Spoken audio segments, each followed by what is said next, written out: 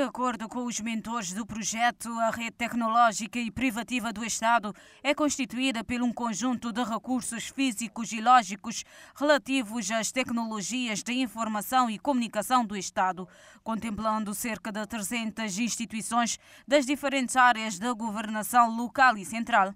E destina-se a garantir a disponibilização de serviços públicos eletrónicos aos cidadãos e empresas, bem como as atividades funcionais dos agentes públicos, promover a aplicação de medidas de política da área da sociedade de informação e da governação eletrónica e coordenar todas as ações que visem a implementação da governação eletrónica. Será possível a instalação de equipamentos e infraestruturação para a instalação da RTP e do data center, sublinhou Carlos Santos. Vai ser feita a instalação de ligações de fibra ótica para interligar as instituições com maior número de utilizadores à rede do Estado, que terão ganhos de melhoria de acesso e eficiência da internet, dos serviços de e-mail, de VoIP e das aplicações de governação eletrónica. Também nos nossos hospitais, nas nossas escolas, eh, para que os cabo-verdianos possam ter todas as condições eh, para conquistar eh, um mundo novo e para dizer presente no mundo futuro.